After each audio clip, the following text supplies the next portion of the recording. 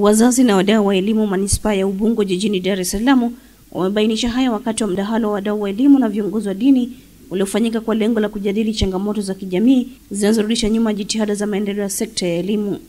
Tume, tumejipanga kupita kila shule, kila kata kuelimisha wanajamii kuhusu ma, madhara yatokanayo na ukatili na ubakaji wa watoto na ulawiti. Tatizo hili ni kubwa sana kwa, kwa Dar es Salaam kwa ujumla, kwa maana ya kwamba wa, maisha lifestyle watoto wanaoishi na mitandao imesababisha watoto maadili yameporomoka kwa kiasi kikubwa. Kila mzazi, kila mdau, kila mwanajamii anao wajibu wa kuhakikisha kwamba elimu bora na elimu jumuishi inaweza kutolewa mashuleni.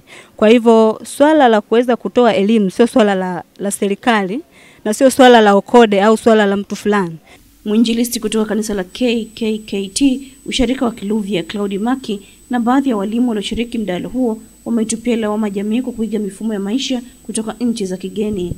Hata mtoto akipata tatizo hawezi kupata msaada kutoka kwenye jamii, kwa sababu tunajaribu kuwaokupai watoto na tunabaki nao sisi wenyewe badala ya kuifanya jamii iwe mwalimu kwa watoto wetu kama vile ambavyo tulikuwa tunaishi zamani. Na wanaamini zaidi taarifa zile zinazopatikana kwenye mitandao, taarifa ambazo ziko tofauti na maadili yetu ya kitaifa ya Kitanzania. Smartphone mtoto anazimiliki asilimia kubwa kwa mzazi. Kwa hiyo niombe tu ushirikiano kwa wazazi na kwa serikali na wadau ambao wanahusika na kumlea mtoto.